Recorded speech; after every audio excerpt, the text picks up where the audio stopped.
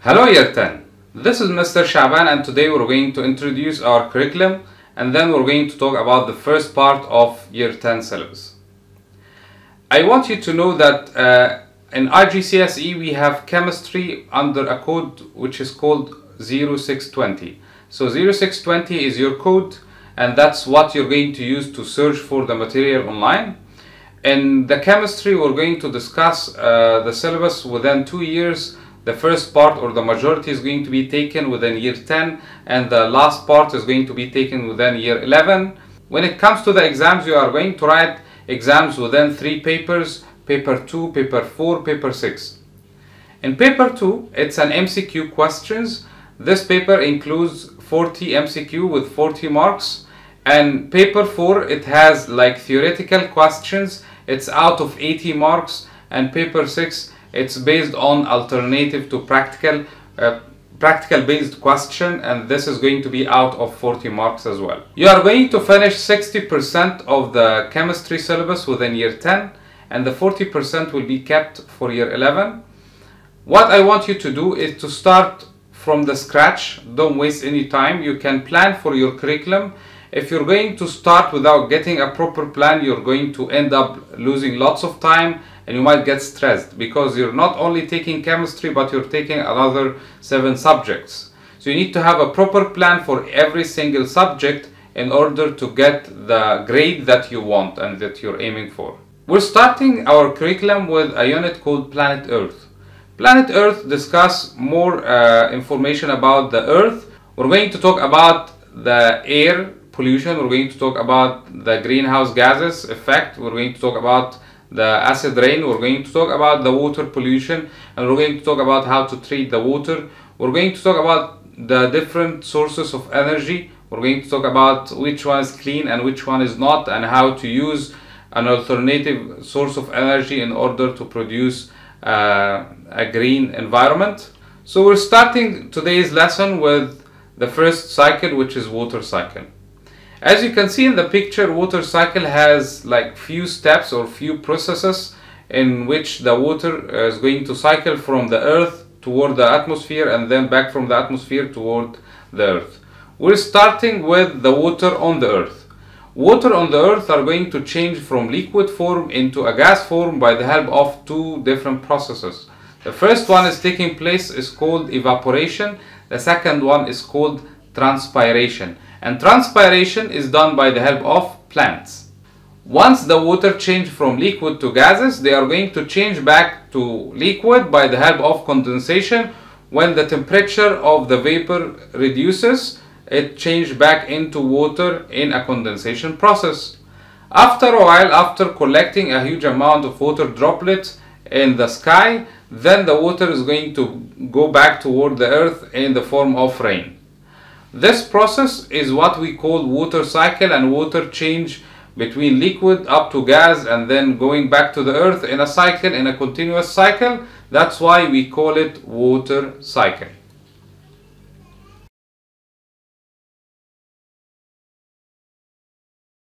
The second process that we're going to talk about is called the carbon cycle. In the carbon cycle, I'm going to show you a video where it's going to discuss the complete cycle within the earth for the carbon from the atmosphere uh, like as a gas uh, back to the earth and so on. But before I start, I want to discuss with you three important equations. These equations are what you're going to use within this cycle in the video in order to understand how the carbon is cycling inside the earth. The first equation is called photosynthesis. Photosynthesis is an important uh, process where it takes place inside the plant in order for the plant to make its own food. Basically, carbon dioxide changed from a gas by the help of a water into food, which is called glucose, stored inside the plant, or it can be used for energy, along with oxygen as a byproduct. On the other hand, and the opposite process of photosynthesis is respiration. Respiration is the process that we undergo along with other animal and plants where we're going to burn the energy stored in the form of glucose by the help of oxygen to get energy and to produce carbon dioxide and water. The last equation that we're going to talk about is combustion. Combustion is a process where we burn uh, like fossil fuel in order to get energy and this process mainly discussing how we burn the fuel that contain carbon in the presence of oxygen to produce carbon dioxide and water vapor. So these three processes are very important for you in order to understand the carbon cycle that's going to start right now. The carbon cycle. All elements and some compounds have their natural cycle in nature, for example the water cycle. Matter is cycled using energy, usually from the sun. And in this video we'll be considering the carbon cycle. We will see how photosynthesis and respiration help carbon to be cycled in nature, again using energy from the sun and we will also see the part played by mankind when we use fossil fuels. First of all, the natural carbon cycle. Can you remember what the process is called where plants capture carbon and give off oxygen? Pause the video whilst you think. Did you remember that this process is called photosynthesis? The carbon is used to build up new plant material Animals eat the plants or other animals to build up their bodies. To obtain energy for all these living processes, plants and animals take in oxygen and rejoin it with the carbohydrates, so returning the carbon dioxide to the atmosphere. Do you remember what this process is called? Pause the video. This process is called respiration. Now, let's put some details into this. As they grow, all living things have to build up large polymer molecules from small molecules. Protein, for example, to make your skin and muscles and other organs, comes from joining amino acids together. Cellulose and starch to make the leaves, flowers, trunks, roots, and all parts of plants from joining sugars, and DNA to make the genes which control living things from the bases and the sugar and phosphate. Plants can make these simple molecules from the carbon they capture from photosynthesis, with added elements from the minerals they get from the soil. Animals, on the other hand, get their molecules ready-made when they eat plants or other animals, but first they have to break the food polymers back into the small molecules. Do you know what this process is called? Pause whilst you think of an answer. This is called digestion, breaking the food into little bits so it can get into our blood. All of this, of course, needs lots of energy. And living things get their energy from respiration. Some of the monomers, things like sugar, have to be rejoined with oxygen, and for us, that is the principal use of the carbohydrates in our diet. The carbon dioxide gets back into the food web through photosynthesis. Now let's look at mankind's influence on the carbon cycle. Hundreds of millions of years ago, huge quantities of living things died and were trapped in layers of rock. These formed our fossil fuels of coal, oil, and natural gas. Sometimes they were trapped in mud deposits that got compressed into shale, Tiny pockets of natural gas in these shales are now being exploited by fracturing the deep down rocks in a process called fracking. The carbon dioxide released during respiration is cycled naturally. The same is the case if we burn wood and agricultural waste, even biogas given off from food we throw into rubbish tips and from sewage works. All this carbon has been recently captured from the atmosphere and we are simply returning it to be used again in the natural cycle. However, when we burn fossil fuels, the carbon in them has been underground for hundreds of millions of years, and this adds new carbon dioxide to the atmosphere. Just as we use 90% of our food as a fuel and only 10% for building and repairing our bodies, so with fossil fuels, 90% are used as fuels and are combusted, and only 10% are used to make things such as plastic.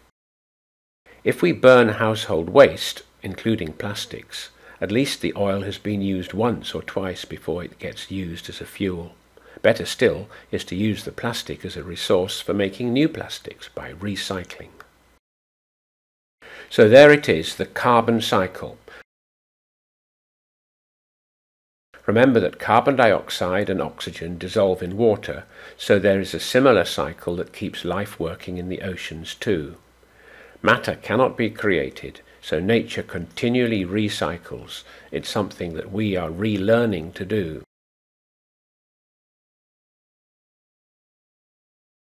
Then we're going to talk about the nitrogen cycle. Nitrogen cycle includes a very important terms. The first one is called nitrogen fixation. The second one is called Haber process.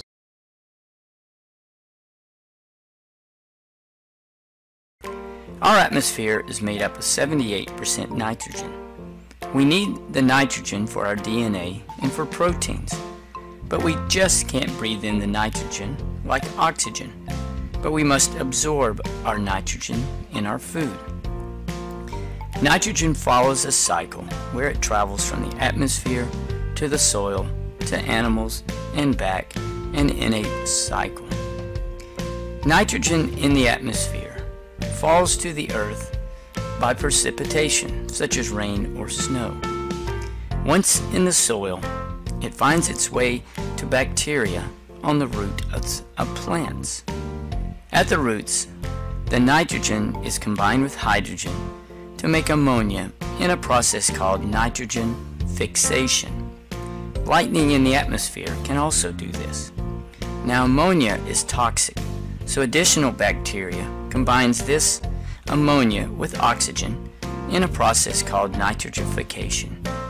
At this point, the nitrogen is, is in a form called nitrite. Additional nitrifying bacteria convert this nitrite to nitrate. At this point, plants can absorb this nitrogen in a process called assimilation.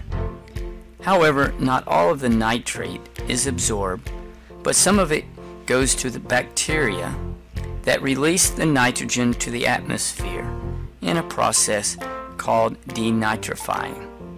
The nitrogen returns to the atmosphere also, once in the animal, after it eats the plants, the animal either dies or needs to get rid of waste. Another type of bacteria then takes this and along with decomposers and breaks this nitrogen either in the waste or the dead animal. And by a process called ammonification, the nitrogen can enter the cycle once again at nitrification, and the cycle continues. I hope that helps with the nitrogen cycle, which is how nitrogen keeps recycling itself.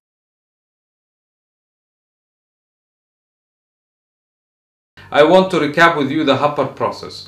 Haber process is the process of making the fertilizers. Haber process is a chemical reaction which is man-made where humans are taking the, nit the nitrogen from the air along with the hydrogen to react together to produce ammonia, which is used for the plant as a fertilizer. Likely produced ammonia in the laboratory from the thermal decomposition of ammonium chloride or from the reaction of ammonium and hydroxide ions. Have you ever wondered how ammonia is produced on an industrial scale? In this lesson, we will learn about the Haber process to produce ammonia developed during World War I by Fritz Haber and Carl Bosch. For their efforts and contributions to developing large scale industrial processes, they were awarded with Nobel Prizes in chemistry. The Haber process is the industrial process for the manufacture of ammonia from hydrogen and nitrogen. Hydrogen is obtained from the reaction of methane and steam, producing carbon monoxide as a byproduct. The hydrogen produced from this reaction also reacts with oxygen from air, producing water and leaving nitrogen behind. Recall that air is 77% nitrogen. These gases are then compressed and delivered to the reactor, where ammonia is produced. These gases are then cooled down and ammonia is liquefied, ready to be tapped off. Unused hydrogen and nitrogen are recycled back to the reactor. Let's revisit this reaction again. Note that this is a reversible reaction and that the forward reaction is exothermic. The Haber process uses Le Chatelier's principle to maximize ammonia production while keeping operating and production costs in mind. Le Chatelier's principle tells us that increasing pressure will favor the side with fewer moles. For our case, the production of ammonia. It would make sense to conduct the reaction at a very high pressure, but we must also remember that it is expensive to build and operate a plant that can withstand such high pressures. Therefore, a compromise pressure of 200 atmospheres is used. Let's keep Le Chatelier's principle in mind. What do you think is the best temperature conditions to maximize ammonia production? Please pause the video to think about this and resume once you are ready. Since the forward reaction is exothermic, it would make sense to conduct this reaction at a low temperature. The compromised temperature is 400 to 450 degrees Celsius, which is not exactly low, but not too high. If a low temperature were used, the rate of reaction would be very slow, though the exothermic reaction would be favored. It would actually take a long time for equilibrium to be reached, so a compromised temperature of 400 to 450 degrees Celsius ensures that the reaction proceeds with sufficient yield. The yield of this process is 10 to 20%. Remember from the introduction that unused gases are recycled, so no reactants are wasted. As well, an iron catalyst is used in this process. The presence of the catalyst does not affect the position of equilibrium, but increases the rate at which equilibrium is reached. In conclusion, the Haber process is the industrial process to produce ammonia from hydrogen and nitrogen. It is conducted at 400 to 450 degrees Celsius and at 200 atmospheres in the presence of an iron catalyst. These are compromise conditions in order to maximize ammonia production and economic profit.